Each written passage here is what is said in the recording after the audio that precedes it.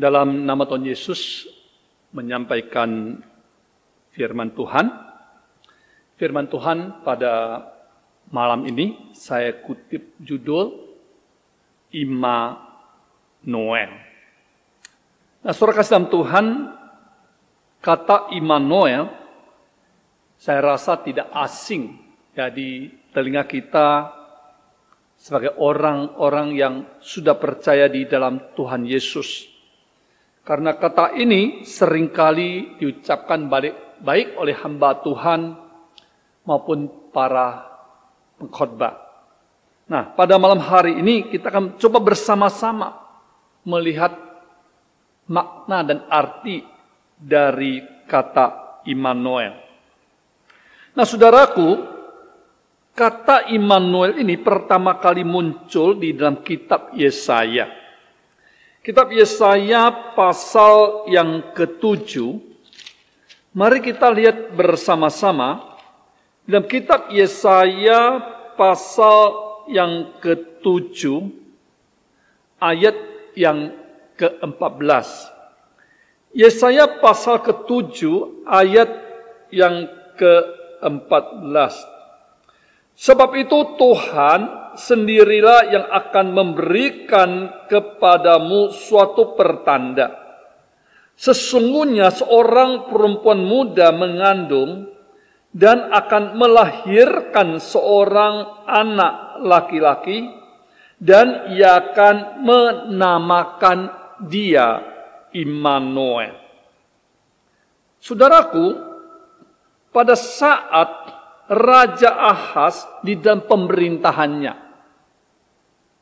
Dia menghadapi banyak musuh yang akan menyerang dia.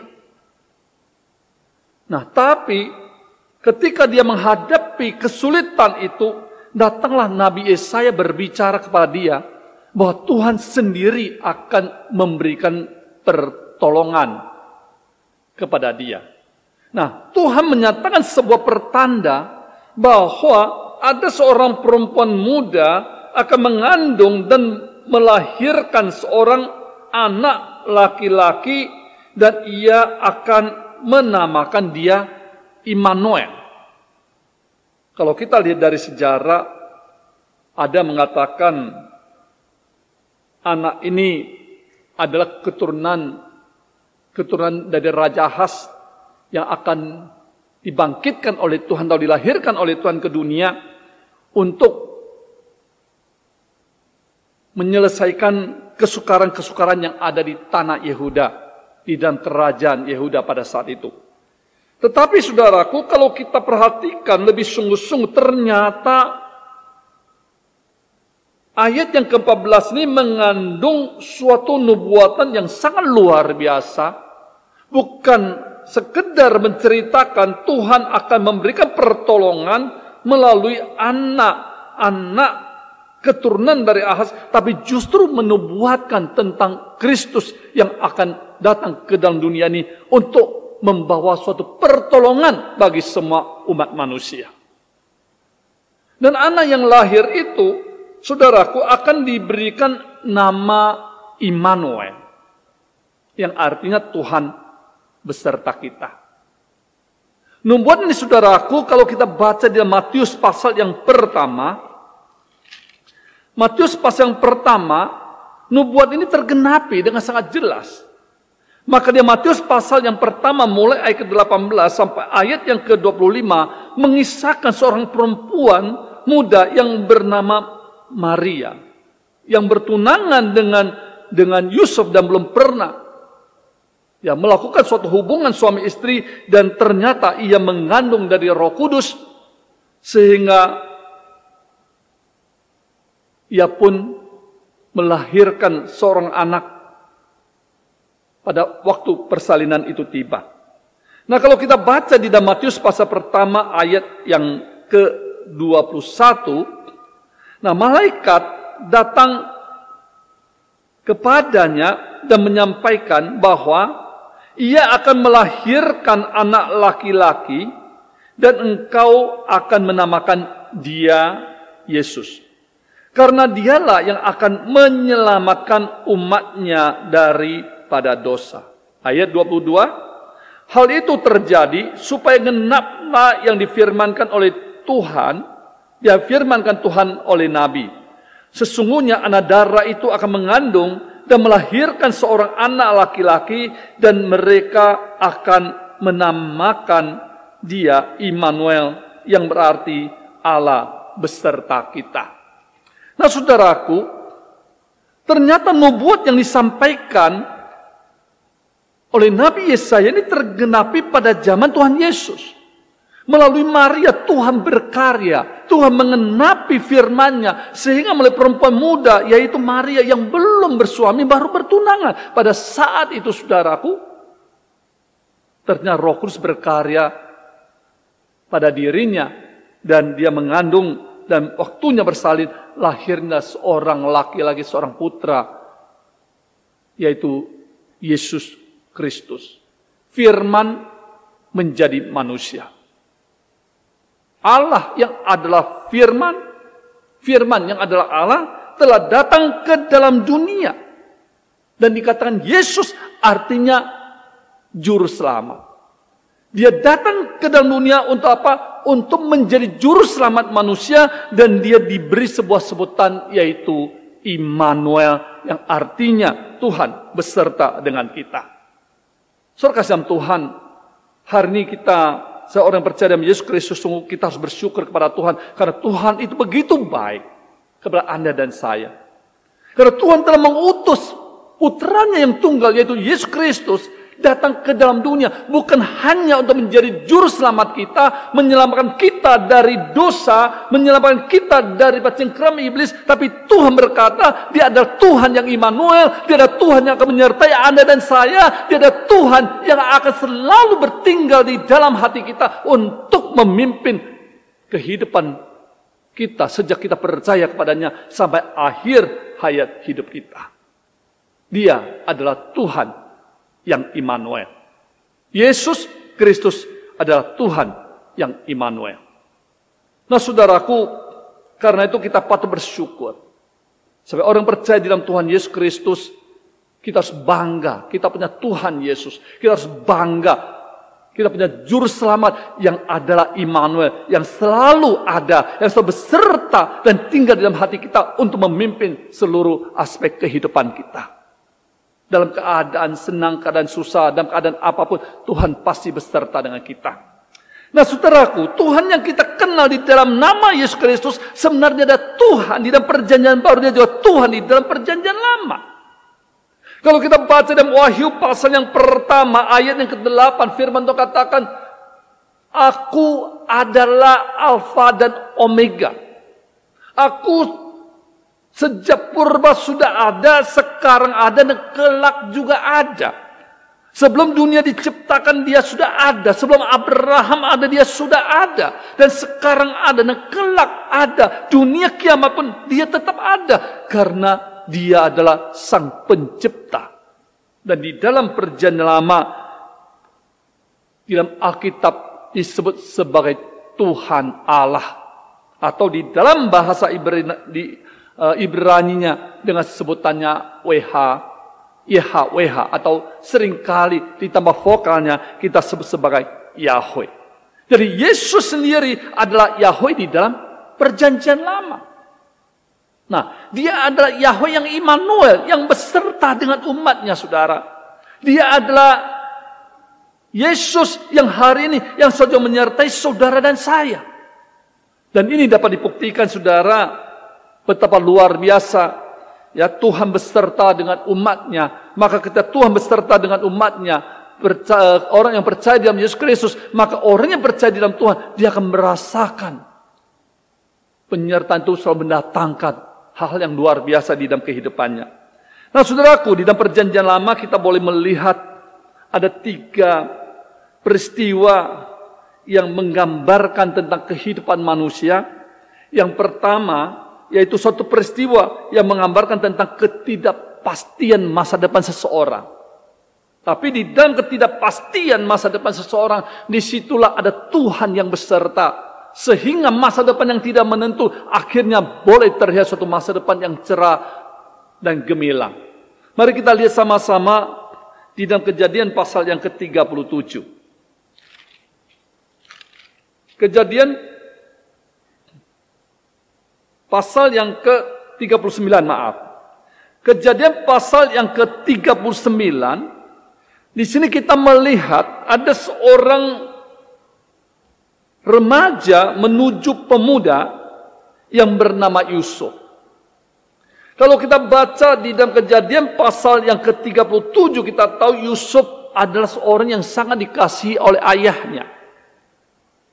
Ayahnya begitu sayang kepada dia sehingga ayahnya membuka jubah yang maha indah dan apa yang dilakukan oleh ayahnya telah mengakibatkan saudara-saudaranya menjadi cemburu dan akhirnya menjualnya ke tanah Mesir dan dijual nya Yusuf itu kepada seorang yang bernama Potifar. Seorang pejabat negara di tanah Mesir. Yusuf seorang yang tadinya punya masa depan yang cerah di bawah asuhan daripada orang tuanya. Tapi tiba-tiba dia harus dijual oleh saudaranya. Dijual ke Mesir menjadi seorang yang tidak punya masa depan yang pasti. Nah, dalam keadaan demikian saudara, bagaimana Yusuf menjalankan kehidupannya. Dia tidak dapat melihat masa depannya yang cemerlang. Dia tidak dapat melihat masa depan yang cerah. Kenapa? Karena dia jual oleh oleh saudaranya untuk menjadi seorang asisten rumah tangga, menjadi seorang hamba di rumah Potifar. Tapi Yusuf saudaraku dia adalah seorang yang percaya dengan Tuhan dan firman Tuhan mencatat kepada kita, ia bekerja di rumah di rumah Potifar, dia menjalankan uh, tanggung jawabnya menjadi seorang seorang hamba dan di sisi yang lain dia serahkan sepenuhnya kepada Tuhan. Dan apa yang terjadi saudara? Kalau kita baca di dalam kejadian pasal yang ke-39 ayat yang kedua sampai ayat yang keenam firman Tuhan berkata kepada kita. Kejadian pasal 39 ayat yang kedua sampai ayat yang keenam. Tetapi Tuhan menyertai Yusuf sehingga ia menjadi seorang yang selalu berhasil dalam pekerjaannya. Maka tinggallah ia di rumah tuannya orang Mesir itu. Setelah dilihat oleh tuannya bahwa Yusuf disertai Tuhan dan bahwa Tuhan membuat berhasil segala sesuatu yang dikerjakannya. Maka Yusuf mendapat kasih tuannya dan ia boleh melayani dia. Kepada Yusuf diberikannya kuasa atas rumahnya dan segala miliknya diserahkannya pada kekuasaan Yusuf. Sejak ia memberikan kuasa dalam rumahnya dan atas segala miliknya kepada Yusuf, Tuhan memberkati rumah orang Mesir itu karena Yusuf sehingga berkat Tuhan ada atas segala miliknya baik yang di rumah maupun yang di ladang. Segala miliknya diserahkannya pada kekuasaan Yusuf dan dengan bantuan Yusuf ia tidak usah lagi mengatur apa-apapun selain dari makanannya sendiri. Nah, saudaraku, kita lihat Yusuf ketika dia menjadi seorang asisten rumah tangga, menjadi seorang hamba di dalam rumah Potifar itu, ternyata ayat 2 firman katakan Tuhan menyertai Yusuf sehingga ia menjadi seorang yang selalu berhasil dalam pekerjaannya. Luar biasa saudara. Jadi kita lihat di sini ada penyertaan Tuhan di tengah ketidakpastian hidup daripada Yusuf, ketidakpastian masa depan daripada Yusuf. Tuhan menyertai. Sehingga apa yang dilakukan oleh Yusuf menjadi berhasil, saudara.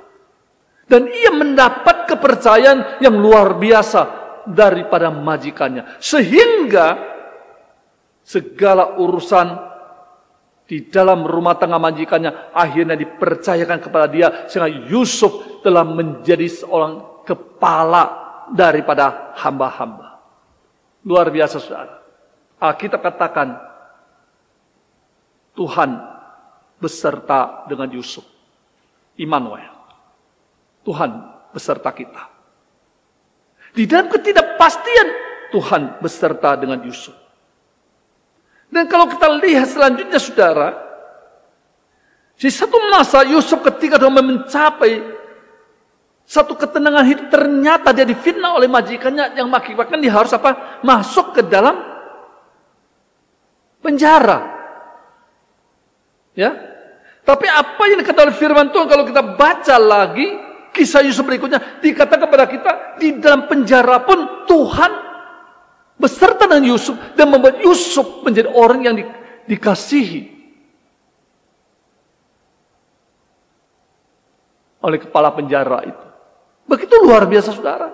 Nah, bahkan Tuhan beserta dengan Yusuf sampai akhirnya Yusuf pun dipulihkan keadaannya. Dia diangkat menjadi perdana menteri atau mangku bumi di dalam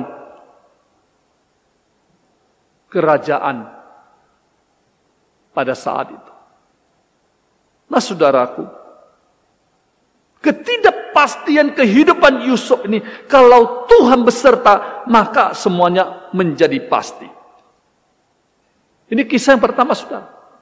Kisah yang kedua yang kita bicarakan hari ini, kalau Tuhan yang beserta dengan kita, kalau Tuhan yang Immanuel kepada umatnya, maka kebuntuan jalan akan diubah oleh Tuhan sehingga terlihat sebuah jalan yang luas, sebuah jalan yang lancar. Kita mencatat kepada kita ketika Musa memimpin bangsa Israel keluar dari tanah Mesir. Tuhan beserta dengan umatnya dan khususnya Tuhan beserta dengan Musa. Dengan sepuluh tulah Tuhan menghukum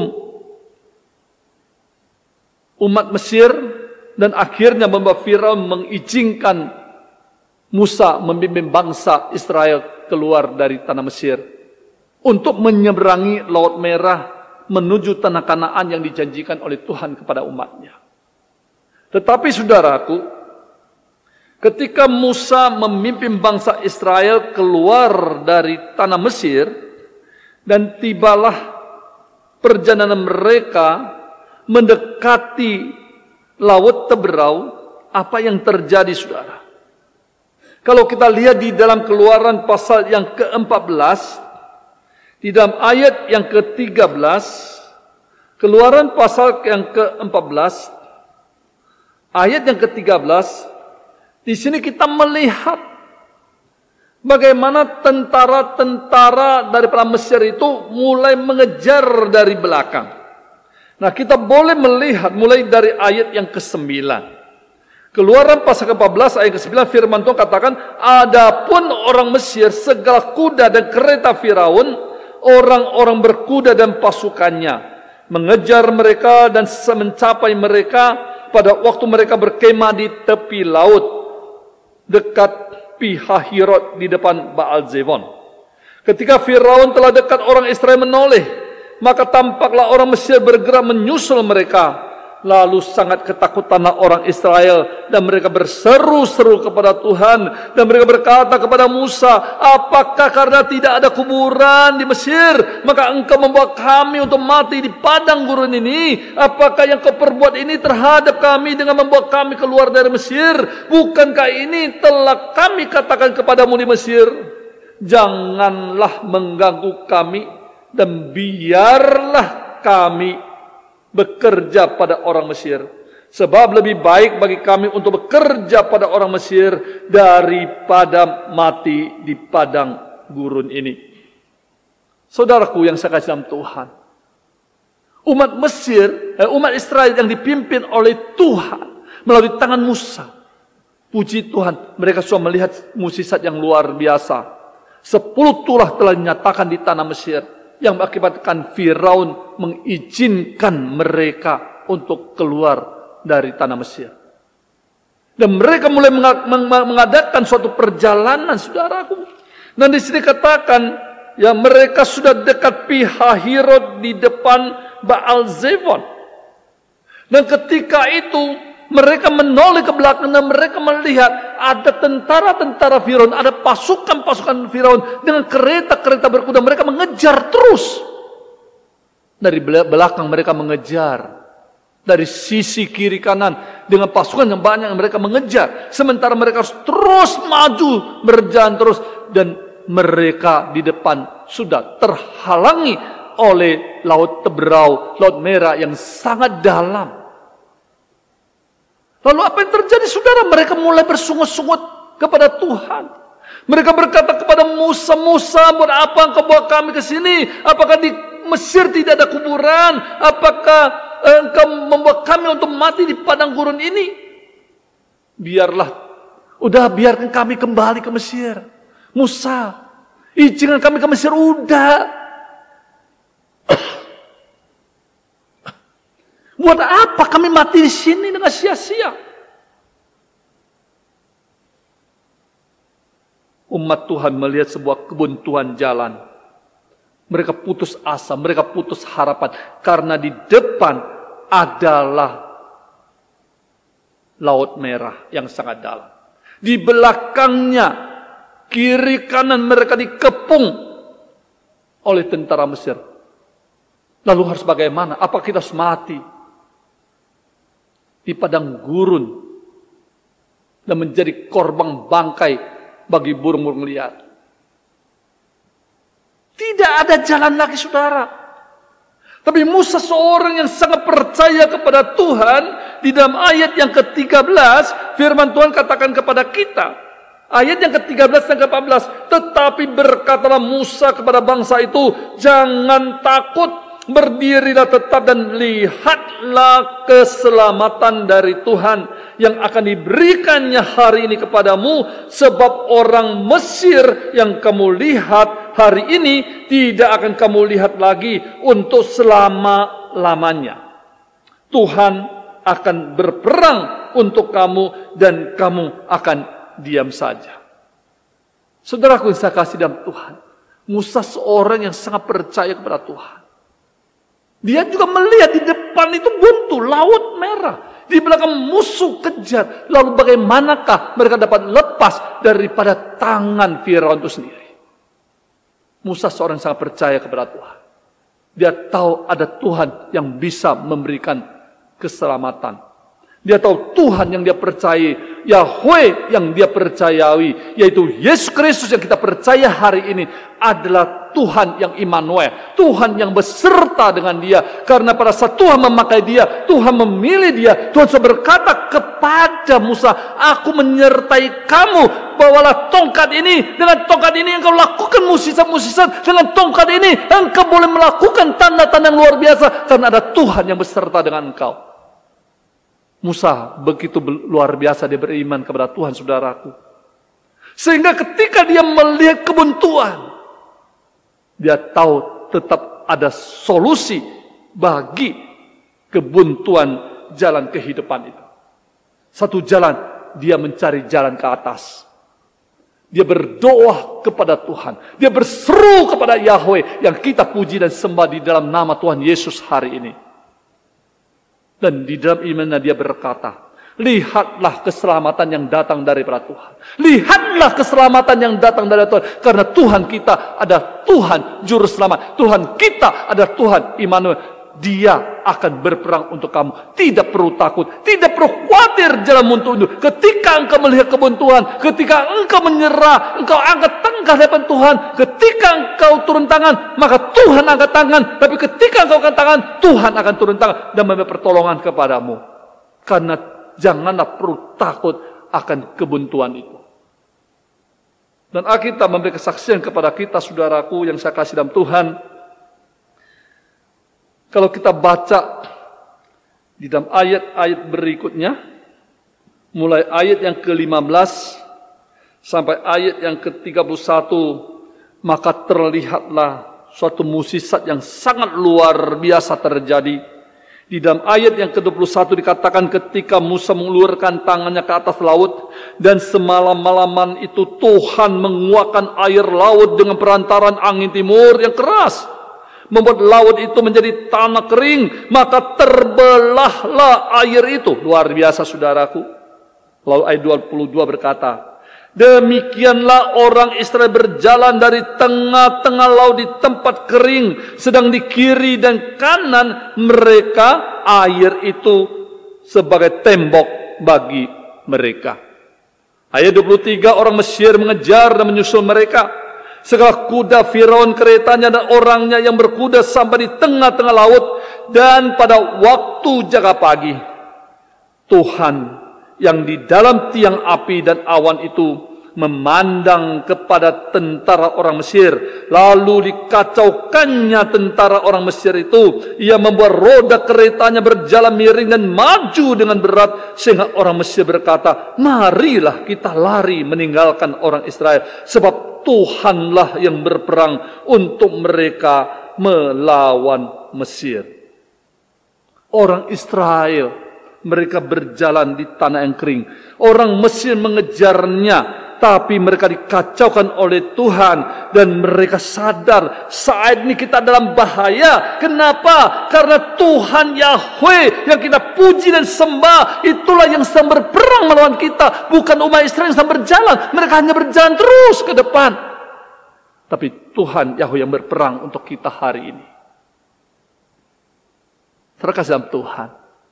Alkitab begitu luar biasa indah berkata kepada kita, ayat 26 ketika umat Israel sudah melewati jalan yang kering dan sudah sampai di tepi yang sebelahnya maka ayat 26 firman Tuhan berkata berkatalah firman Tuhan kepada Musa ulurkanlah tanganmu ke atas laut supaya air berbalik meliputi orang Mesir meliputi kereta mereka dan orang mereka yang berkuda Musa mengulurkan tangannya ke atas laut maka menjelang pagi berbalik ke air laut ke tepatnya, sedang orang Mesir lari menuju air itu. Demikian Tuhan mencampakkan orang Mesir di tengah-tengah laut.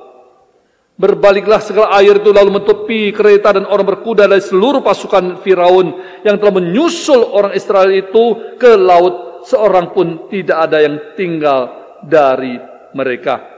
Tetapi orang Israel berjalan di tempat kering dari tengah-tengah laut, sedang di kiri dan di kanan mereka air itu sebagai tembok bagi mereka. Demikianlah pada hari itu Tuhan menyelamatkan orang Israel dari tangan orang Mesir dan orang Israel melihat orang Mesir mati terhantar di pantai laut. Luar biasa saudaraku, suatu karya Tuhan yang sangat luar biasa. Sehingga pemazmur di dalam mazmur dia mengatakan, ya, di dalam laut ada lorong Tuhan. Di permukaan air ada jalan Tuhan. Walaupun permukaan air itu semua terlihat adalah air dan kita tidak melihat jalannya. Tapi sebenarnya di dalam air itu ada jalan Tuhan. Musa dengan pengalaman hidupnya ini memberitahu kepada kita di tengah kebun Tuhan jalan itu sebenarnya ada Tuhan yang beserta ada Tuhan yang berkarya di tengah-tengah kita. Dan kisah yang ketiga saudaraku kalau kita baca di dalam Daniel pasal yang ketiga dalam kitab Daniel pasal yang ketiga, di situ mengisahkan kepada kita tentang tiga sahabat dari Daniel, ya, tiga sahabat dari Daniel, yaitu Hanania, Misael, dan Azaria. Mereka adalah orang-orang penting di dalam kerajaan Nebukadnezar pada saat itu, di dalam kerajaan Babel. Tapi mereka adalah orang-orang Yehuda atau orang Yahudi yang sangat takut dan hormat kepada Allah dan di dalam hidupnya prinsipnya adalah takut akan Allah, takut kepada Yahweh dan hidup menurut ketentuan-ketentuan dan hukum peraturan daripada Yahweh dan di tanah Babel pun mereka tetap bersikeras setia kepada Tuhan dan memegang perintahnya. Sehingga apa yang dilakukan oleh mereka ini tidaklah disukai oleh pejabat-pejabat dari bangsa Babel itu sendiri. Sehingga mereka tahu ada tiga sahabat Daniel ini mereka adalah orang-orang yang setia kepada Tuhan. Mereka ingin menyingkirkannya. Maka mereka berbicara kepada Nebukadnezar. Supaya sang raja membuat sebuah patung emas di dataran Dura. Dan diperintahkanlah, dikeluarkanlah Ya, surat edaran supaya apa? Supaya pada saat pentabisan akan patung itu, semua orang harus datang sujud menyembah kepada patung itu. Kalau kita baca dalam Daniel pasal yang ketiga ayat uh, ayat yang ke keempat dikatakan berserulah seorang bentara dengan suara nyaring beginilah dititahkannya kepada hai orang-orang dari segala bangsa, suku bangsa dan bahasa. Ayat yang kelima, tapi kamu mendengar bunyi sangkakala, seruling, kecapi, rebab, gamu, serdam, dan berbagai-bagai jenis munyi-munyian. Maka haruslah kamu sujud menyembah patung yang telah didirikan Raja Nebukadnezar itu. Siapa yang tidak sujud menyembah akan dicampakkan seketika itu juga ke dalam perapian yang menyala-nyala. Suatu dekrit yang dikeluarkan oleh sang raja itu begitu keras. Ketika pentabisan patung Nebukadnezar, ya semua orang begitu mendengarkan suara alat musik itu. Dan kalau kita tidak sudi menyembah maka mereka harus menghadapi hukuman. Menghadapi hukuman dari sang raja. Yaitu apa? Mereka akan dilemparkan ke dalam dapur api yang menyala-nyala. Lalu apa yang terjadi saudara? Alkitab mencatatkan kepada kita, tiga sahabat Daniel ini, mereka tidak mau sujud menyembah kepada patung itu. Sehingga apa yang dilakukannya lalu dilaporkan oleh pejabat Babel kepada sang raja. Sehingga raja menjadi sangat marah, mereka pun, eh, sang raja pun memanggil Hanania, Misael dan Azaria yang dikenal dengan nama Babel yaitu Sadra, Mesa dan Abednego. Raja sangat sayang kepada mereka. Sehingga raja mengajak mereka untuk bernegosiasi. Ya, kalau kita baca di dalam firman Tuhan, di sini katakan kepada kita, ya di dalam ayat yang ke-15, sang raja berbicara kepada mereka bertiga, ayat ke-15, sekarang jika kamu bersedia, tapi kamu mendengar bunyi sangkakala, seruling, kecapi, rebab, gambus, serdam, dan berbagai-bagai jenis muji-mujian, sujudlah menyembah patung yang kubuat itu. Tetapi jika kamu tidak menyembahnya, kamu akan dicampakkan seketika itu ke dalam perapian yang menyala-nyala. Dan dewa manakah yang dapat melepaskan kamu dari dalam tanganku? raja begitu baik menawarkan kepada Hanania, Misael dan Azaria untuk apa? Untuk menyembah kepada patung itu. Tapi bagaimana jawaban dari mereka bertiga? Ayat ke-16 firman Tuhan katakan, lalu Sadra, Mesa dan Abednego menjawab Raja Nebukadnezar, tidak ada gunanya kami memberi jawab kepada Tuanku dalam hal ini. Jika Allah kami yang kami puji, sang eh, yang kami puja, sanggup melepaskan kami, maka ia akan melepaskan kami dari perapian yang menyala-nyala itu. Dan dari dalam tanganmu ya Raja, tetapi seandainya tidak, hendaklah Tuanku mengetahui ya Raja, bahwa kami tidak akan memuja dewa Tuanku dan tidak akan menyembah patung emas yang Tuanku dirikan itu.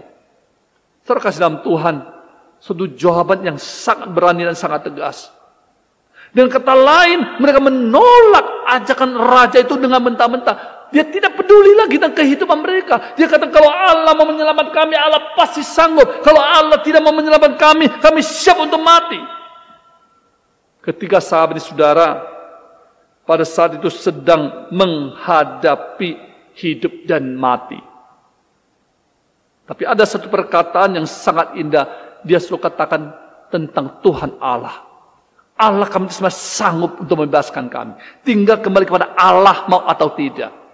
Kalau Allah mau menyelamatkan kami pasti bisa. Tapi Allah kalau tidak mau menyelamatkan kami, ya itu sudah rencana Allah yang lebih baik untuk kami. Dan kami siap untuk tinggalkan dunia yang fana ini. Menghadap takhta kasih karunia Allah di dalam kerajaan surga.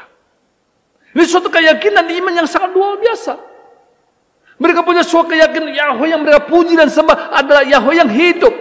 Mereka yakin Tuhan yang mereka sembah adalah Tuhan yang Immanuel yang beserta dengan mereka. Hidup mati ada di tangan Tuhan. Sehingga sang raja sangat marah saudaraku. Lalu memanaskan api. ya Dapur api itu begitu panasnya sehingga akhirnya mereka pun di bertiganya dilemparkan ke dalam dapur api yang menyalanya. Dan apa yang terjadi saudara?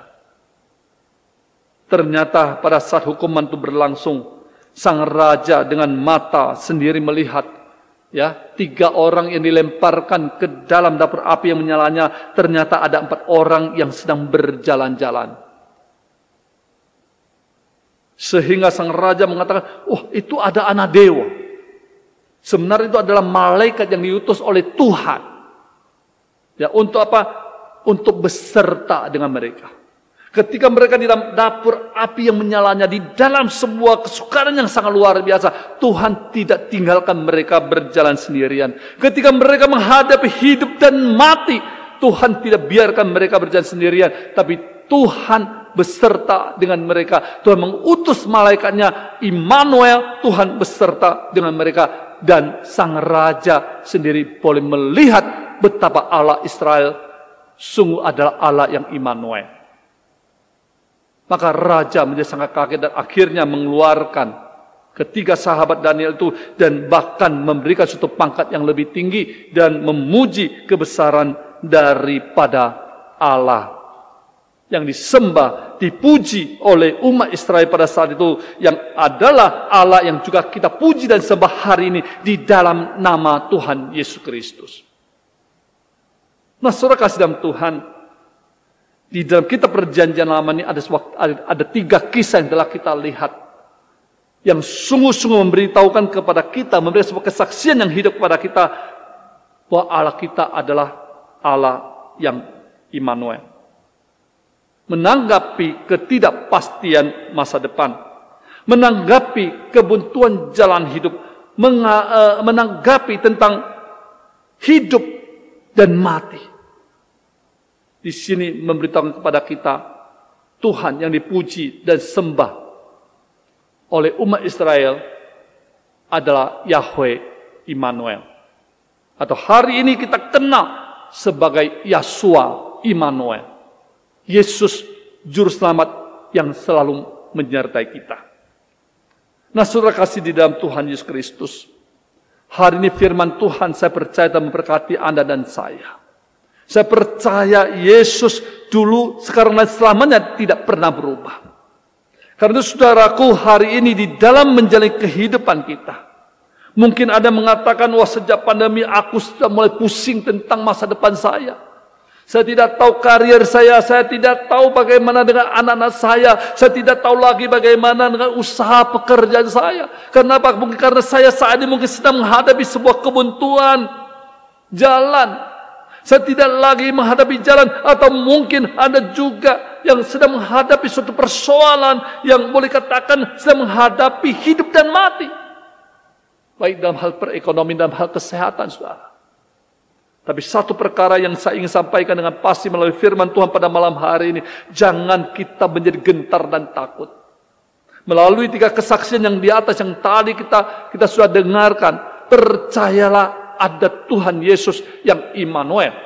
Ada Tuhan Yesus yang beserta dengan Anda dan saya. Bukan mudah-mudahan beserta dengan Anda, tapi dia pasti beserta dengan Anda dan saya. Kenapa? Karena ada firman Tuhan di dalam Yohanes pasal yang ke-14, Tuhan sendiri sudah berkata kepada kita suatu janji. Kita lihat sama-sama di dalam Yohanes pasal yang ke-14. Ayat yang ke-16 dan ayat yang ke-17. Yohanes pasal ke-14 ayat yang ke-16 dan ke-17. Yesus berkata, Aku akan minta kepada Bapa dan ia akan memberikan kepadamu seorang penolong yang lain supaya ia menyertai kamu selama-lamanya yaitu roh kebenaran. Dunia tidak dapat menerima dia sebab dunia tidak melihat dia dan tidak mengenal dia tetapi kamu mengenal dia sebab ia menyertai kamu dan ia akan diam di dalam kamu. Luar biasa saudara. Firman Tuhan katakan, Yesus sendiri katakan, ia akan memberikan seorang penolong yaitu Roh Kudus. Roh Kudus adalah roh Allah sendiri. Roh Kudus adalah roh Yesus sendiri. Setelah Yesus bangkit dari kematian, ke 40 hari bersama dengan muridnya, dia naik ke surga, pada hari yang ke-50, Yesus curahkan roh kudusnya kepada orang-orang yang percaya. Roh Tuhan dinyatakan kepada kita, firman Tuhan katakan, roh Tuhan akan diam di dalam hati kamu, dia akan menyertai kamu selama-lamanya. Bukan sesaat saudara, tapi selama-lamanya. Kebenaran firman Tuhan yang memberitahu kepada kita, bahwa Yesus Tuhan adalah Yesus yang Immanuel. Dia adalah Tuhan yang menyertai kita selama-lamanya. Karena saudaraku yang saya kasih di dalam Tuhan, pada malam hari ini patutlah kita bersyukur kita punya Tuhan Yesus yang luar biasa. Dia ada di dalam hatimu, dia ada di hati saya. Dia ada dalam hati kita semua. Karena saudara, mari kita lihat. Jangan kita takut tentang hari esok, tentang hari depan. Firman Tuhan katakan hari esok, hari depan ada kesusahan, ada kesulitan tersendiri. Jangan kita khawatir tentang ketidakpastian masa depan kita. Jangan kita khawatir tentang kebuntuan jalan kehidupan kita. Jangan kita khawatir dan takut tentang apa? Tentang masa hidup mati kehidupan kita. Percayakanlah kepada Tuhan Yesus. Karena dia adalah Tuhan yang Immanuel. Dia pasti beserta dengan Anda. Yang terpenting sikap yang harus kita ambil Firman katakan kepada kita, kalau kita merasa kita ada beban berat, kita merasa letih lesu, kita merasa kita saat ini ya sedang mengalami kebuntuan jalan, mengalami ketidakpastian masa depan dan kita sedang bergumul dalam hidup dan mati, Tuhan katakan, marilah kepadaku. Matius pasal yang ke-11 ayat yang ke-28. Matius pasal ke-11 ayat yang ke-28. Tuhan Yesus berkata, "Marilah kepadaku semua yang letih lesu dan berbeban berat, aku akan memberikan kelegaan kepadamu." Ajakan Tuhan Yesus yang luar biasa. Sekali lagi saya bacakan saudara. Marilah kepadaku semua yang letih lesu dan berbeban berat, aku akan memberi kelegaan kepadamu. Ini adalah janji Tuhan yang sangat luar biasa. Tuhan Yesus Tuhan yang Immanuel. Dia telah memberikan janji kepada saudara dan saya. Kalau hari ini saudara dan saya merasa ada beban yang berat. Anda merasa letih dan lesu. Anda merasa ketidakpastian masa depan. Anda merasa, merasa kebuntuan jalan. Anda merasa saat ini dalam pergumulan antara hidup dan mati. Ini sebuah beban yang berat dalam kehidupan kita. Jangan kita pergi ke mana-mana. Jangan kita pergi mencari paranormal. Jangan kita malah melarikan diri menjalani suatu kehidupan yang dunia. Tapi Tuhan katakan, marilah kepada aku. Yesus menyuruh anda mari kita datang kepada Tuhan. Karena dia adalah Tuhan yang Immanuel. Dia akan memberikan kelegaan kepada saudara-saudara dan saya. Saudara dalam Tuhan, saya percaya kasih Tuhan tidak pernah berubah. Dulu, sekarang, dan selama-lamanya. Kuasa Tuhan tidak pernah berubah dari dulu, sekarang, dan selama-lamanya. Kasih setia Tuhan tidak pernah berubah dari dulu, sekarang, dan selama-lamanya. Karena itu yang terpenting hari ini dalam keadaan kebuntuan jalan, dalam keadaan ketidakpastian masa depan, dalam keadaan pergumulan antara hidup mati, janganlah kita berubah setia kepada Tuhan. Tapi marilah kita setia kepada Tuhan. Apa pun persoalan yang kita hadapi, percaya dengan pasti. Yakinkan pasti di dalam hati kita bahwa kita punya Immanuel, Tuhan yang beserta dengan kita. Bersama dia kita sang melakukan perkara-perkara yang luar biasa. Karena itu saya penutup firman Tuhan. Mari kita lihat di dalam Ibrani pasal yang ke-12. Ibrani pasal yang ke-12 ayat yang pertama sampai ayat yang ketiga. Ibrani pasal yang ke-12 suatu ajakan yang sangat indah kepada kita yang mengajak kepada kita dalam keadaan apa pun mari kita tujukan pandangan kita kepada Tuhan Yesus. Ibrani 12 ayat 1 sampai ayat 3. Karena kita mempunyai banyak saksi bagaikan awan yang mengelilingi kita. Marilah kita menanggalkan semua beban dan dosa yang begitu merintangi kita dan berlomba dengan tekun dalam perlombaan yang diwajibkan bagi kita.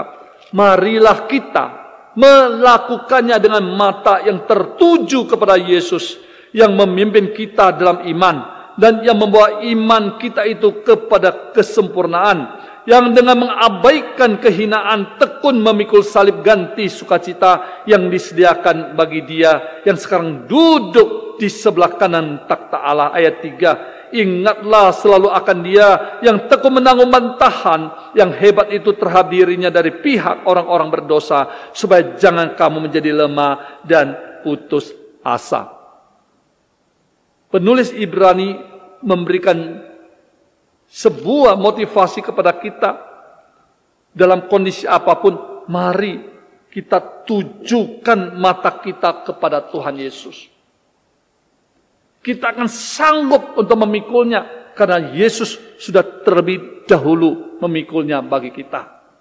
Bahkan dikatakan ayat yang pertama kita sudah mempunyai banyak saksi bagaikan awan yang mengeliling, mengelilingi kita, yang memberitahukan kepada kita, yang menyaksikan kepada kita bahwa Tuhan kita adalah Tuhan yang Immanuel. Kesaksian itu dicatatkan di dalam pasal yang ke-11. Ada dicatatkan tentang Abraham, tentang Ishak, dan khususnya tentang siapa? Tentang Yusuf, Musa, Hanania, misal Azaria, tentang Daniel, dan masih banyak lagi orang-orang kudus dan perjanjian lama mereka di dalam hidupnya juga banyak menghadapi ketidakpastian masa depan. Di dalam hidupnya mereka juga tidak jarang menghadapi kebuntuan jalan. Di dalam hidup mereka sering kali mereka juga dihadapi kepada sebuah pergumulan antara hidup dan mati. Tapi firman Tuhan memberitahu kepada kita ketika mata mereka tertuju kepada Yahweh yang kita puji dan sembah di dalam nama Tuhan Yesus Kristus, maka kesaksian yang luar biasa telah terjadi di mata kita. Mereka boleh dilepaskan dari segala kesulitan-kesulitan itu dan mereka boleh keluar menjadi seorang pemenang. Karena saudaraku yang saya kasih dalam Tuhan, mari kita pada malam hari ini kita mau menekatkan iman kita untuk selalu setia kepada Tuhan dan selalu datang kepada Tuhan dalam keadaan apa pun. Karena kita percaya kita punya Tuhan yang Immanuel, dia adalah Yesus Kristus juru selamat kita adalah Tuhan yang Immanuel, dia pasti beserta dengan kita. Kira firman Tuhan pada malam hari ini boleh menjadi berkat, menjadi penghiburan, dan memberikan kekuatan kembali bagi kita semua. Terpujilah nama Tuhan. Haleluya. Amin.